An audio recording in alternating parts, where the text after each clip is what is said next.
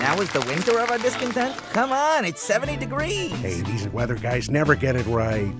This summer, a trip to Lake Tahoe is made even more impressive with an evening at the Lake Tahoe Shakespeare Festival with Richard III and A Midsummer Night's Dream, all in the company of a dining experience as exquisite as the scenery itself, and all at LakeTahoeShakespeare.com. We gotta get up here more often. What are you nuts? We live here.